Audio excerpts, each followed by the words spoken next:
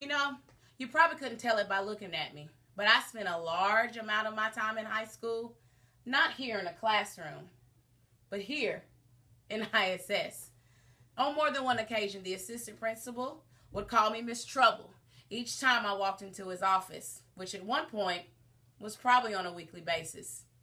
Miss Winsley, Mr. Collette would say as he flipped his legendary paddle in his hands, You may not know it, and clearly you're not showing it, but I know you have a greater purpose in life other than spending in ISS and at the bottom of your class. So I'm going to keep believing in you until one day you begin to believe in yourself.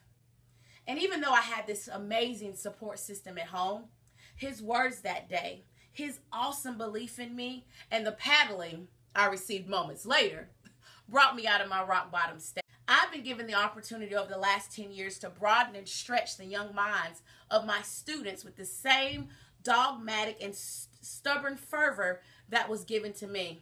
And as I begin this transition from a classroom teacher to a lead learner, I'm determined daily to answer my calling, to elevate all stakeholders so they achieve the possibilities and hurdle over life's impossibilities.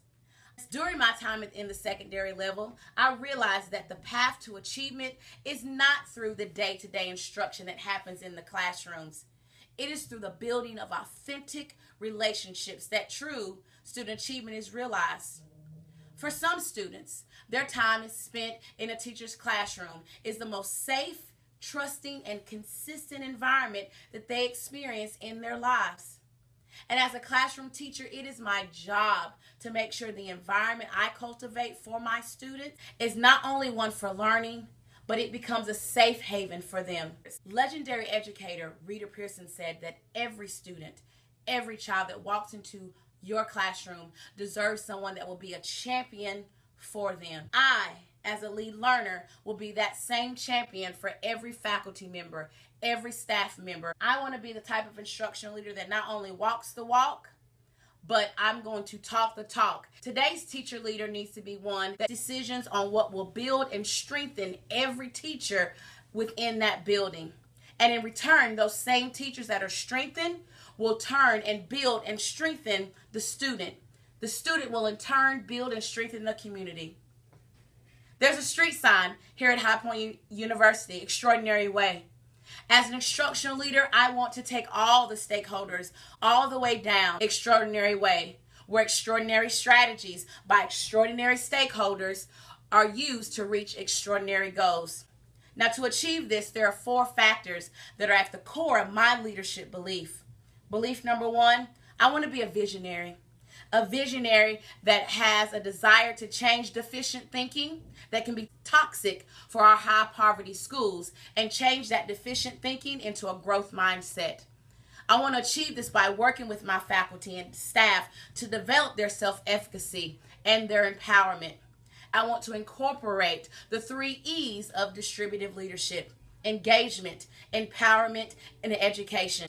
Today's lead learner can no longer stay in the classroom responding to emails, sending mandates and policies via digital emails. Today's lead learner will be engaged and present at the beginning of the day to the end, both in the hallways and in the classroom. Empowerment. As an instructional leader, I have to find ways to empower my teachers. I have to find ways where they can take advantage and control of their learning. And this not only applies to my teachers, this applies to my students as well. The last E, education. I want to be the type of leader that is not automatically going to have all the right answers. I'm not going to be the type of leader that's not afraid to go back into the classroom and learn. Across the campus of High Point University are two fountains that speak to what vital collaboration looks like. Here you have every stream working together to achieve a common purpose. Each water stream, different and unique, has come together to achieve this collective vision that every water stream is invested in. Therefore, within a true distributive leadership environment, every stakeholder are now my partners working towards a collective vision we set and using those extraordinary talents to take risks and learn and cultivate techniques that then will create extraordinary young men and women. I have to look at every stakeholder as change agents, agents both in and out of the classroom, agents that have a belief in themselves, that know their why, and are willing to take risk to reach the vision of student achievement. Last spring for a group project, honor students examined the changing racial and cultural shifts that were happening in America by examining the yearbooks for our school that spanned 40 years. They immediately became aware of the fact that even though the building is the same as it was 40 years ago, the makeup of the student population has done a complete 180. Today, the culture of the school has shifted Therefore, it's vitally important that the faculty and staff's mindset shift as well.